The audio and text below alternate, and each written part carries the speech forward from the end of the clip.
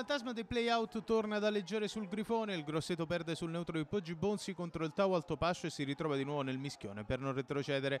Squadre schierate entrambe col 3-5-2 dai due tecnici, Cretaz decide di tenere fuori Cesaroni e va con Gomez e Giustarini in attacco, confermato il rientro di Bruno dopo l'infortunio alla spalla.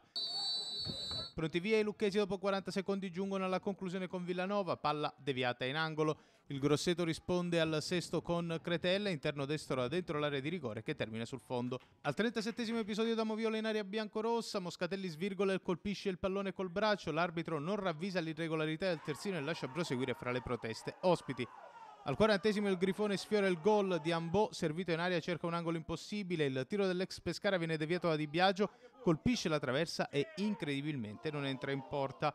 L'ultima azione pericolosa è del Tavo Altopascio con una punizione alla tre quarti che Dannetti respinge bene dopo un rimbalzo insidioso il primo tempo termina così a reti inviolate.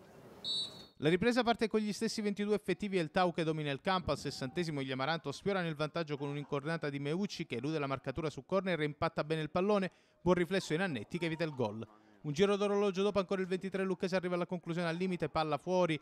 Il Tau vede premiati i propri sforzi al 67 su corner e un autogol di Ciolli che tenta un disperato anticipo su Mancini a portare in vantaggio la squadra ospite. Il Grosseto subito il gol si sveglia e sfiora il pareggio al settantesimo con Cretella, il cui colpo di testa in anticipo su Di Biagio è salvato sulla linea da Mancini. Cretaz butta nella mischia anche Cesaroni, che all'83esimo sfiora il pareggio con una punizione diretta all'incrocio. Di Biagio smanaccia in angolo. Al 91esimo il Grifone su una mischia in aria va vicino al pareggio, ma la spazzata della retroguardia ospite fa partire il contropiede che porta Capparella a tu per tu con Nannetti, bravissimo. Il portiere biancorosso a rispondere presente. All'ultimo respiro un contatto dubbio fra Cesaretti e Giustarini in aria fa esplodere le proteste della tribuna, ma l'arbitro lascia correre. Finisce 0-1, vince il Tau meritatamente e la classifica del Grifone torna a fare paura.